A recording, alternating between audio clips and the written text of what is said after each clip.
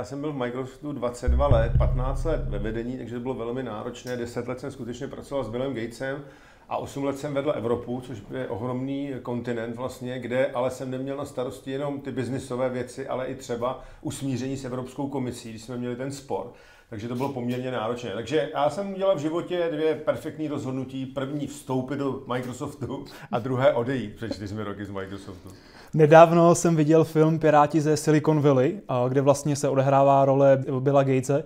Řekni mi, ten Bill Gates je takový lišák, co? Jak se vám s ním pracovalo? Já bych neřekl, že Bill Gates je lišák. Jsou dva lidi, který uznávám vlastně jako vizionáře. Je to Steve Jobs a Bill Gates, protože ty ostatní jsou inovátoři. Ale vizionář je někdo, kdo má vizi, což je obraz světa, který ještě neexistuje, ale vy mu uvěříte. Pokud tomu obrazu začnou věřit i ostatní lidi, tak můžete změnit svět a tyhle ty dva ho opravdu změnili.